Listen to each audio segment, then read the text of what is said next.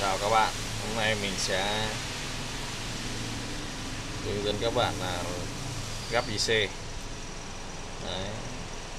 bài học là phải gắp được IC thì mới sửa được. Phần cứng. Ừ. cái món ờ, này mình làm cũng yếu lắm. Đấy, các bạn ờ, có xem thì đừng chê là kỹ thuật gà mờ nha. Mình gà mờ thật. này nha. Đây là cái ờ, mỡ này để mình cho vào này. đấy, gắp cho vào.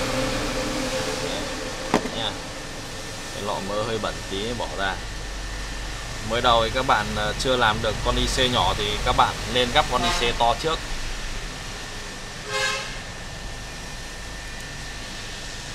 Đây đây đây. Các bạn nhìn được không? Nét nào?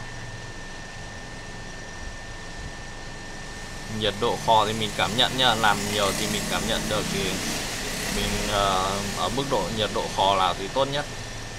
Còn uh, việc đóng con IC này thì nhiệt độ thì mình uh, căn chỉnh theo thời gian này mình mới đầu kho cho từ từ này cho nóng này xong rồi bắt đầu kho nhiệt cao cao dần dần đều này để cho nó nóng dần để cho chân IC nó nó nhũn thiết bắt đầu mới để xuống được.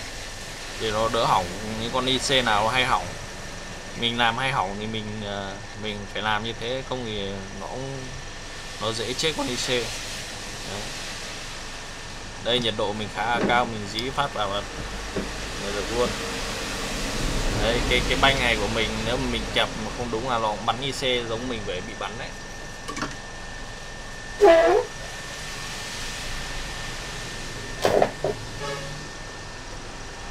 đây là con cuộn dây à? Trong iPhone rất nhiều cuộn con cuộn dây nha. Ờ, cuộn dây này để làm gì? Để ổn áp cho cái ờ, các cái mạch hoặc là tăng điện áp. Ví dụ như là tăng điện áp từ 3V lên 12V để làm sáng đèn. Thì con này nó sẽ đảm bảo ờ, độ chuẩn của nó sẽ tăng nên và ổn áp.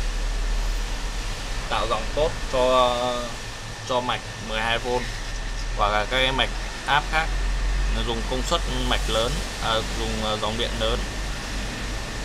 Chúng ta phải đóng lại chuẩn. Ở iPhone thì có rất nhiều những cái con à, con chở. Đây con chở đây. con chở nhỏ li ti. À, phải dùng kính núp đại pháp quên mất. Đây các bạn phải dùng kính núp đại pháp thì mới nhìn được. Đây, mình phải dùng cả cái điện thoại này cho các bạn nhìn cho nét nhá.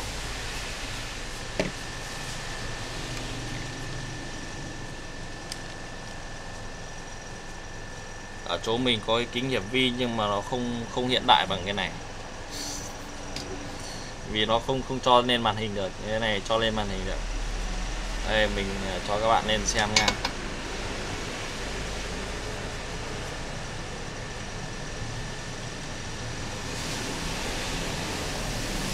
Đây là các con tụ này. đấy nha đâu là tụ?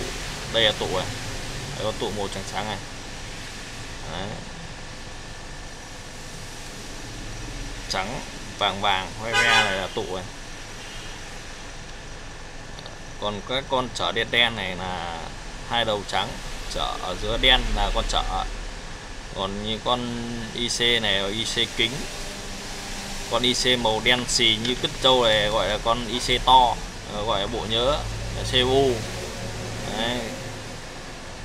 những con IC kính này thì nó đảm bảo những cái ờ, mạch ở ừ, các cái chi tiết ra sau như camera hoặc là đường đèn, đường màn hình. Ở mic, cạp âm thanh cái đấy. Nó dùng như thế kính nhỏ nhỏ này điều mạch. Đây là chân collect để găm ờ, màn hình này. Còn cái cái cái này là để để ốc. Đấy, bên iPhone là có những cái điểm này ốc vặn vào.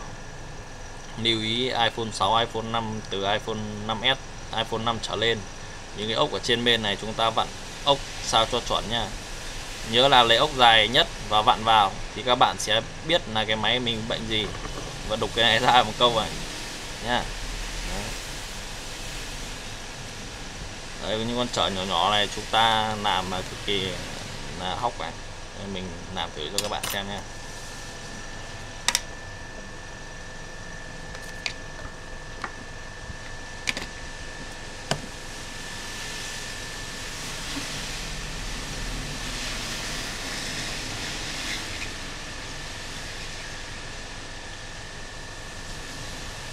Khi bên cạnh con to này thì chúng ta nên nhấc con to ra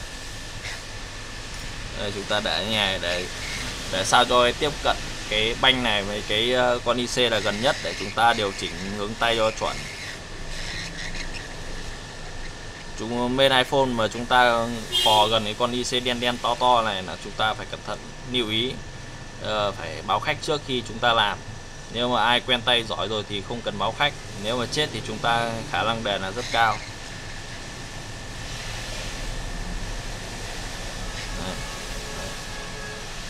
Nhiệt độ này cực nóng luôn. Còn đi xe nhỏ chúng ta làm nhé. Kho phát bỏ ra luôn.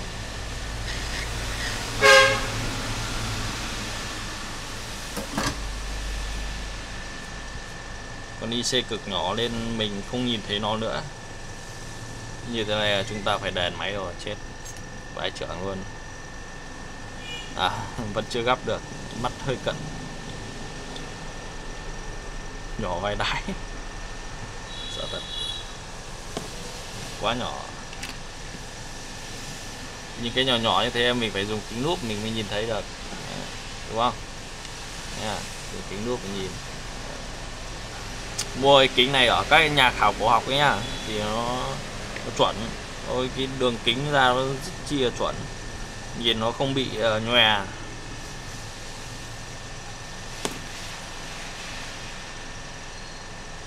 Bây giờ tìm con IC nhỏ ấy thì tìm ở đâu? Đấy, không tìm được đâu. Đấy vì thế chúng ta phải gấp con khác. Như ý cứ gấp những con to to nhà được nha.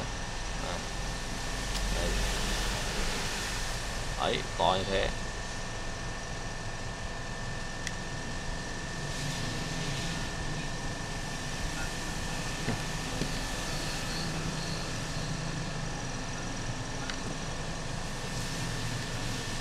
Sửa iPhone dễ khó khó hay dễ là do tay mình hết nhé sau đến là các cái ban hoặc là các kỹ thuật để mình dò mạch, đo mạch, thì nó có, bây giờ nó có cái V kép ờ,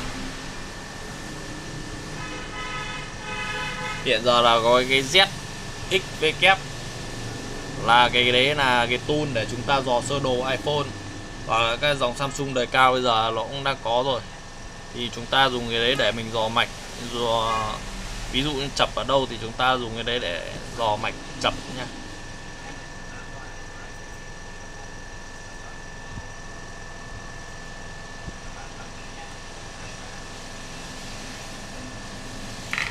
uh, ờ, iPhone này thì có cái bệnh cao siêu nữa là mình phải dùng dùng CNC để khó đục những con này ra to này ra để mình thay thế. Nhưng cái đấy thì ở cửa hàng không làm ở đây thì các cái uh, trung tâm chuyên sâu về sang bên này uh, làm iCloud này thì uh, ở trung tâm đấy họ làm quán mình không làm. Quán mình chỉ làm những các bệnh nhỏ như là uh, đóng IC CPU này hoặc là làm chập nguồn các iPhone 6 mình uh, làm những việc nhỏ thôi nhưng mà nhiều thì cũng vẫn ra tiền nhiều. Những các bệnh chết nguồn của iPhone do chập nguồn. Còn làm về sóng thì cũng làm đấy nha chào tạm biệt